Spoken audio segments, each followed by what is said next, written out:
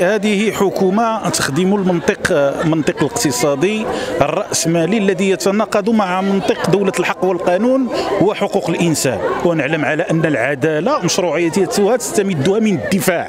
لذلك ف مشروع قانون المسطرة المدنية هو يضرب الدفاع. ولما نضرب الدفاع نضرب ماذا؟ نضرب العدالة والسلم الاجتماعي والاستقرار المستدام. لذلك يريدون قضاء شبه إداريا يتحكم في أرقام المواطنين فارغ من الدفاع ومن السلطة التأثيرية. فهذا مرفوض. فبعد بعد حلقات بين المشاورة بين الحكومة في شخص السيد وزير العدل مع مكتب الجمعية ومع المحامين وطمئن أن كل مطالب المحامين ستؤخذ بعين الاعتبار داخل المسودة.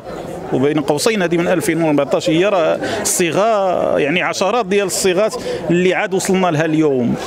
طمئن على أن ستؤخذ بعين الاعتبار في حين أننا اليوم نعيش ردة. بمعنى هذا خذلان هذه خيانة للأمانة وضرب للاستقرار الدستوري. لما لا نخلط بين السلطات ولما نفرغ العدالة من محتواها هذا يعني يخدم ماذا؟ يخدم التحكم الذي يخدم الاحتكار المالي. وإذا كان المحامون هم سلطة تأثيرية تعطي المشروعية للسلطة القضائية من حيث صياغة الحقيقة من حيث صياغة الأحكام من حيث الفيصل بين الناس.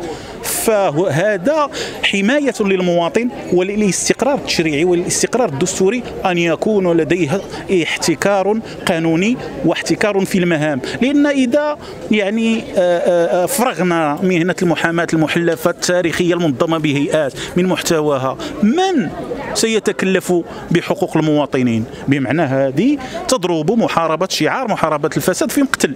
بمعنى سنعرف الطفيليات داخل المحاكم سنعرف انتماء السمساره داخل المحاكم وهذا يعني مرفوض وغير مقبول. لذلك فاليوم المحامون موحدون وواقفون وقفة رجل واحد وفي حالة استنفار لأجل تبني جميع الأشكال النضالية وجميع الآليات القانونية الدولية والوطنية للتصدي لهذه الردة التشريعية.